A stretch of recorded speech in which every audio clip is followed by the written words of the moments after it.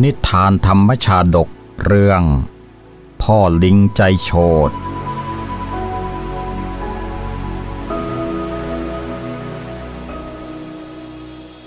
อดีตการนานมาแล้ว ยังมีวานอนฝูงใหญ่อยู่ฝูงหนึ่ง อาศัยอยู่ในป่า ในเขตหิมวันตประเทศ วานอนซึ่งเป็นนายฝูง ปกครองดูแลเหล่าวานอนบริวารทั้งหลาย เป็นวานอนที่มีสันดานหยาบช้า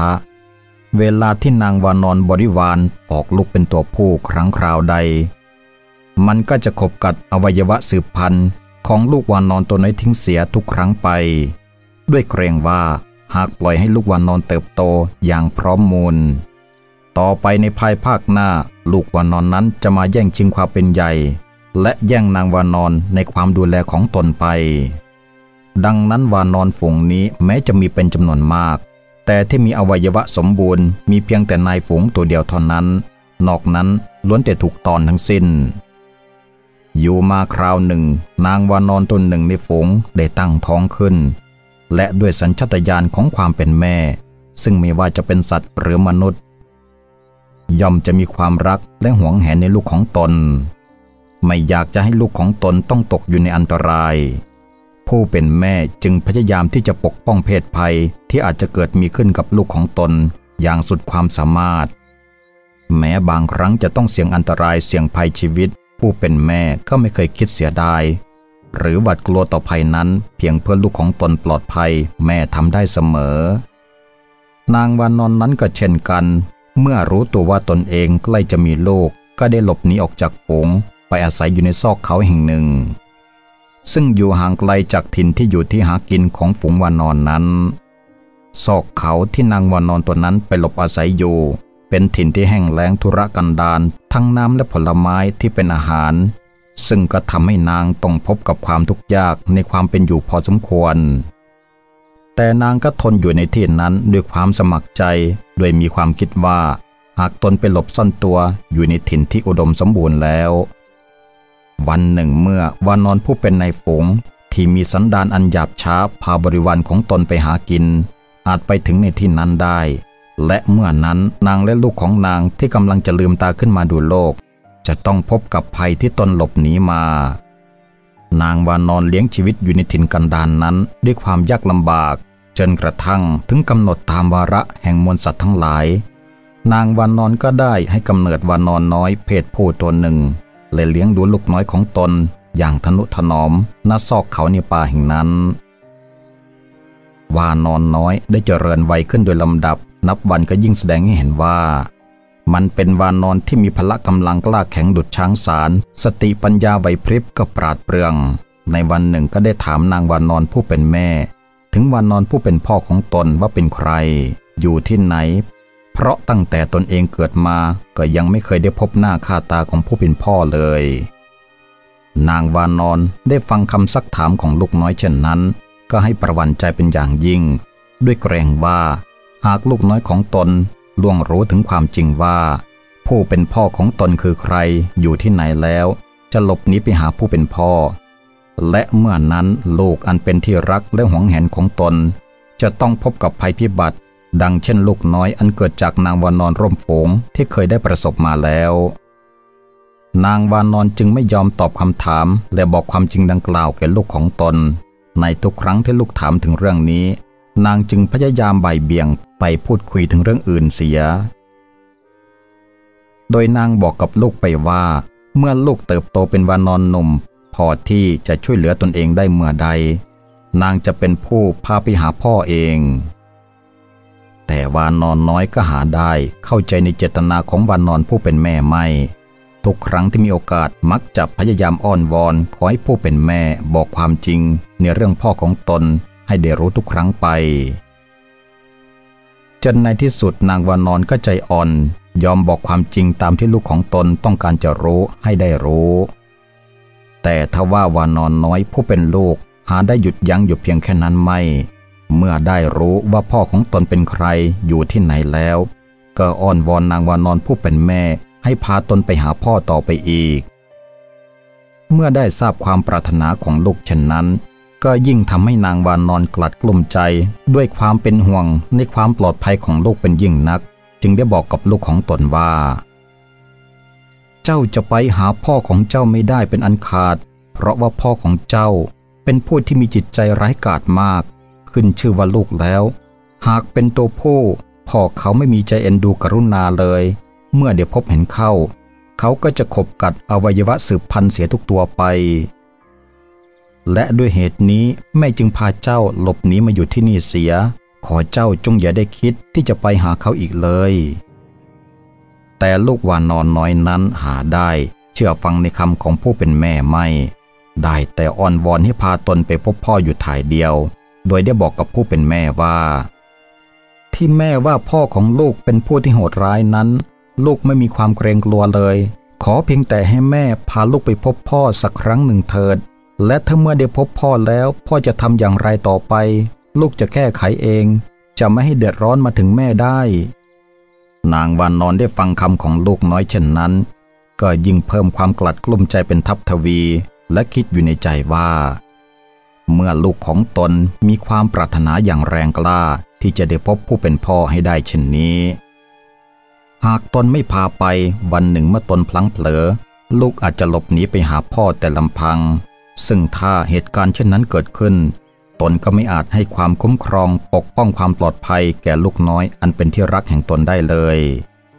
คิดได้อย่างนั้นแล้ว นางจึงพูดกับลูกน้อยของนางว่า เอาเถอะเมื่อเจ้าต้องการจะพบพ่อของเจ้า แม่ก็จะพาเจ้าไป แต่เพื่อความปลอดภัยของตัวเจ้าเอง เจ้าต้องสัญญากับแม่ก่อนว่า เมื่อเจ้าได้พบพ่อของเจ้าแล้ว เจ้าจะไม่เข้าไปอยู่ใกล้ชิดพ่อของเจ้า โดยเฉพาะในที่ลับตาแม่ ครั้นลูกวานนอนรับคำตามที่ผู้เป็นแม่ขอร้อง นางวานนอนจึงตกลงที่จะพาไปยังที่อยู่ของผู้เป็นพ่อ นางวานนอนได้พาลูกเดินทางกลับมายังถิ่นอาศัยของตนอีกครั้งหนึ่ง และเมื่อเดี๋ยวพบกับพญาวานนอนซึ่งเป็นนายฝงก็ได้บอกว่า นี่คือลูกน้อยของตน อันเกิดกับพญาวานอน เขามีความปรารถนาที่จะมาอยู่ร่วมฝงกับท่านผู้เป็นพ่อพญาวานอนได้ทราบเช่นนั้น แทนที่จะเกิดความยินดีที่ได้พบลูก เช่นวิสัยพ่ออื่นๆ ก็กลับคิดไปอีกทางหนึ่งว่า เจ้าลูกวานนอนน้อยตัวนี้ท่วงทีท่าทางมันช่างองอาจนัก หากว่ามันเติบใหญ่ขึ้นมา คงจะต้องแย่งชิงควบคุมฝูงของเราเป็นแน่ อยากระนั้นเลยเราจำต้องกำจัดมันเสียแต่วันนี้เพื่อป้องกันภัยอันอาจเกิดขึ้นในวันหน้าจึงจะดี คิดดังนั้นแล้วจึงได้พูดจาทักทาย นางวานอนและลูกน้อยประหนึ่งว่า มีความรักใคร่และห่วงใยด้วยใจจริงว่า จ้าหายหน้าหายตาไปอยู่เสียที่ไหนเป็นนาน การเป็นอยู่ของเจ้าราบรื่นดีหรือเป็นอย่างไร เจ้าช่างไม่คิดถึงความรักความห่วงใยของเราเลย ดูสิจากไปจนลูกเติบใหญ่ ว่าดังนั้นแล้วก็หันไปพูดกับลูกวานอนว่า นี่แน่เจ้าลูกรัก แม่เจ้าพาเจ้าหลบหนีหน้าพ่อไปอยู่ที่ไหน จนเจ้าเติบใหญ่ถึงป่านนี้ มาเถิดเจ้าเข้ามาให้พ่อกอดจูบ ให้สมกับที่ต้องจากกันไปนานสักหน่อยเถิด วานอนน้อยเห็นอากับกิริยาของผู้เป็นพ่อ ที่แสดงออกมาถึงความห่วงใยอันล้นพ้นเช่นนั้น ก็หลงลืมคำตักเตือนของผู้เป็นแม่ ที่ได้กล่าวถึงอุปนิสัยอันโหดร้ายของผู้เป็นพ่อจนหมดสิน้น เมื่อได้ฟังคำชักชวนให้เข้าไปหา ด้วยน้ำคำแห่งความเสน่หารักใคร่เช่นนั้นก็กระโดดเข้าไปนั่งบนวงตักของผู้เป็นพ่ออย่างไม่ชักช้า พญาวานอนผู้เป็นใหญ่เหนือวานอนอื่นในที่นั้น เห็นได้ทีที่ลูกวานอนน้อยหลงในเล่กลของตน ก็รวบรัดด้วยพละกำลังของตน โดยหวังจะให้วานอนน้อยขาดใจตายในอ้อมแขนของตนในทันที ดังที่กล่าวแต่ตอนต้นแล้วว่า วานอนน้อยตัวนี้มีพละกำลังที่แข็งกล้าดุดดังช้างสารดังนั้นเมื่อถูกพญาวานอนผู้เป็นพ่อกอดรัดด้วยความรุนแรงเช่นนั้น ก็เกิดความตกใจจับแขนทั้งสองของผู้เป็นพ่อกางออกด้วยกำลังที่เหนือกว่า แล้วสลัดกระโดดหนี้ออกมาจากอ้อมกอดนั้นโดยทันทีพญาวานอนนายฝูงผู้เป็นพ่อ เห็นว่าไม่อาจจะกำจัดลูกวานอนตัวนี้ด้วยกำลังได้ จึงแซงพูดปลอบโยนลูกวานอนด้วยคำหวานต่างๆ นานา เพื่อกลบเกลื่อนการกระทำที่มุ่งร้ายของตน แล้วจึงชักชวนนางวานอนและลูกอยู่ร่วมฝูงกับตนต่อไป ด้วยความเกรงกลัวว่าลูกวานนอนตัวนั้นจะแย่งชิงความเป็นใหญ่ไปจากตน จึงได้แต่ครุ่นคิดหาหนทางที่จะกำจัดลูกวานนอนนั้นตลอดเวลา ในที่สุดพญาวานอนผู้มีจิตใจอันหยาบช้า ก็คิดหาแผนการอันแยบยนต์ได้ประการหนึ่ง โดยนึกขึ้นได้ว่า ไม่ไกลจากแหล่งที่อยู่ของพวกตนไปเท่าใดนัก มีสระบัวอยู่สระหนึ่ง ซึ่งเป็นที่หงแหนของผีเสื้อน้ำ เราจะใช้ให้ลูกวานอนนี้ไปเก็บดอกบัวยังสระนั้น เพื่อให้ผีเสื้อน้ำหรือยักษ์ประจำสระน้ำจับกินเป็นอาหารเสีย ครั้นจินตนาการด้วยเล่อุบายดังนั้นแล้วจึงเรียกวานอนน้อยเข้ามาหาและพูดว่า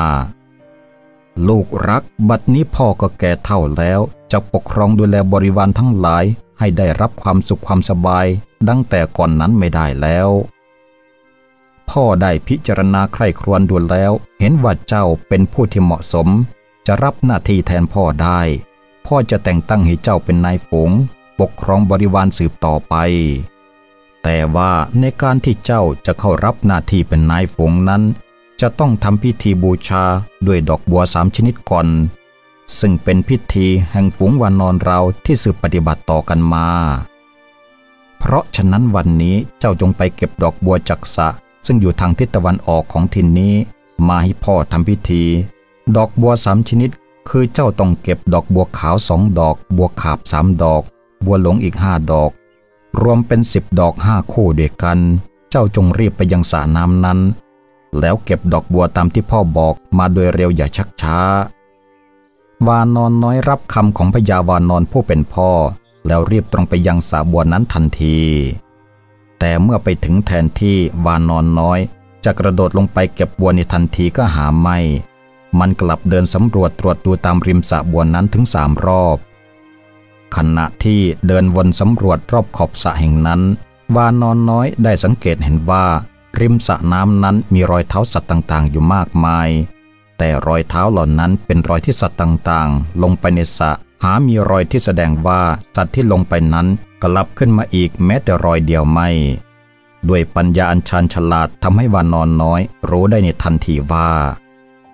ในสระแห่งนี้คงจะมีสัตว์ร้ายอาศัยอยู่เป็นแน่ หากตนขืนลงไปเก็บบัวกลางสระดังที่พ่อสั่งมา คงไม่พ้นต้องตกเป็นเหยื่อของสัตว์ร้ายในสระบัวแห่งนี้ ดังสัตว์ตัวอื่นที่ลงไปแล้วไม่กลับขึ้นมาอีกเลยเป็นแน่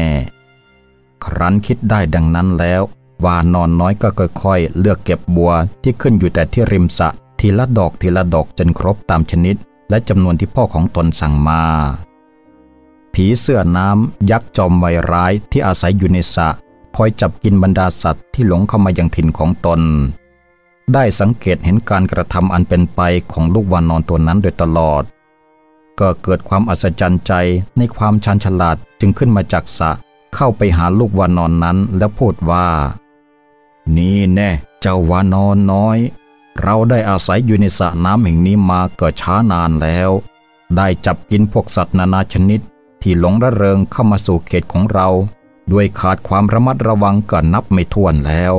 แต่เรายังไม่เคยเห็นใครเป็นเช่นเจ้าเลย แม้เจ้าจะเป็นเพียงแค่วานอนน้อยผ่านโลกมาไม่นานนัก แต่การกระทำของเจ้าเป็นไปด้วยคุณธรรมอันเลิศถึงสามประการคือ 1. ความขยัน 2. ความแกล้วกล้า 3. ความรอบคอบ คุณธรรมสามประการนี้ แม้มีในผู้ใดก็จะรักษาให้ผู้นั้นพ้นภัยจากศัตรู ดังเช่นตัวท่านได้พ้นภัยจากเราแล้วกล่าวดังนั้นแล้วผีเสื้อน้ำก็ถามวานอนน้อยนั้นต่อไปว่า เจ้ามาเก็บดอกบัวยังสระน้ำแห่งนี้ไปเป็นจำนวนมากอย่างนั้น เจ้าเก็บไปเพื่อประสงค์ในสิ่งใดพอจะบอกแก่เราบ้างจะได้หรือไม่ วานอนน้อยจึงแจ้งให้รู้ถึงความประสงค์ของตนว่า ที่เรามาเก็บดอกบัวยังสระน้ำที่เป็นที่อาศัยของท่านในครั้งนี้ ก็ด้วยความประสงค์ของผู้เป็นพ่อแห่งเรา ท่านต้องการดอกบัวเหล่านี้ไปทำพิธีแต่งตั้งให้เราเป็นพญาวานอน ปกครองบริวารสืบต่อจากท่านต่อไปอีก ผีเสื้อน้ำได้ฟังดังนั้นแล้วก็เกิดความคิดขึ้นว่า วานอนน้อยตัวนี้เป็นผู้มีคุณธรรมอันควรยกย่อง และต่อไปเขาจะได้เป็นพญาวานอนปกครองเหนือวานอนทั้งหลาย เราไม่ควรที่จะปล่อยให้ต้องถือดอกบัวไปเอง เพราะการกระทำเช่นนั้น ดูไม่สมเกียรติของผู้ที่จะเป็นพญาปกครองบริวารทั้งหลาย คิดดังนั้นแล้วผีเสื้อน้ำก็ตรงเข้าจับดอกบัวที่วานอนน้อยเก็บจากริมสะขึ้นใส่บา แบกเดินตามหลังวานอนน้อยตัวนั้นไป จนกระทั่งถึงที่อยู่ของพญาวานอนผู้เป็นพ่อฝ่ายพญาวานอนผู้เป็นพ่อ หลังจากใช้ลูกของตนไปเก็บบัวยังสระน้ำอันเป็นที่อยู่ของผีเสื้อน้ำแล้ว ก็ให้นึกกระยิมยิ้มย่องทำนองว่า ครั้งนี้ละเสียนน้ำที่จะคอยแย่งชิงความเป็นใหญ่ไปจากตน จะต้องตกถึงความตายเป็นแน่ เพราะช้านานมาแล้วไม่เคยมีสัตว์ใดที่ลงไปสู่สระบัวแห่งนั้นแล้ว จะคืนกลับมาอย่างปลอดภัยได้แม้แต่ตัวเดียว แต่ขณะที่พยาวานอนผู้มีใจต่ำช้าตัวนั้นกำลังพักผ่อนอย่างสำราญบานใจ ในอิรยาบทแห่งสัญชาติวานอนทั้งหลาย มันก็ต้องตกตะลึงด้วยความแปลกใจอย่างล้นพ้น เมื่อมันได้เห็นว่าวานนอนน้อย เดินกลับมายังที่อยู่อย่างปลอดภัย มีหนำซ้ำเบื้องหลัง แห่งวานนอนน้อยนั้น ยังมีผีเสื้อน้ำแบกดอกบัวกำใหญ่เดินตามมาอย่างนอบน้อมอีกด้วย ภาพที่ปรากฏนั้นทำให้พญาวานอนเสียใจเป็นอันมาก ที่แผนการของตนไม่บรรลุผลจนทำให้หัวใจอันแสนจะมากโดยเลขคนแตกสลายเป็นเจ็ดภาค และถึงแก่ความตายลงในบัดดลฝูงวานนอนทั้งหลายเมื่อได้เห็นว่าพญาวานนอนผู้เป็นนายฝูงของตนสิ้นชีพลงแล้ว และได้ทราบถึงคุณธรรมอันเก่งกล้าของลูกวานนอนน้อยดังกล่าวข้างต้น จึงพร้อมใจกันยกวานนอนน้อยนั้นเป็นพญาวานนอนปกครองดูแลพวกตนต่อไป จากเรื่องราวของลูกวานนอนน้อยดังกล่าวข้างต้น มีแง่คิดที่ควรแก่การพิจารณาอยู่สองประการคือ ประการที่หนึ่งบุคคลใดที่มีจิตใจคับแคบ เห็นแต่ประโยชน์ส่วนตนเป็นใหญ่ มีจิตใจพกพาแต่ความคิดริษยา จ้องคอยแต่จะทำร้ายผู้อื่นอยู่เป็นนิด โดยเฉพาะการจ้องปองร้ายต่อผู้ที่ไม่มีความคิดมุ่งร้ายต่อตน บุคคลผู้มีสันดานเช่นนั้น ตลอดชีวิตของเขา จะไม่มีโอกาสได้พบกับความสุขกายสบายใจเลย เพราะมีแต่ความห่วงกังวล วันเกรงระแวงว่าผู้อื่นจะคิดร้ายต่อตน เหมือนดังตนที่คิดแต่จะให้ร้ายต่อผู้อื่นอยู่ตลอดเวลา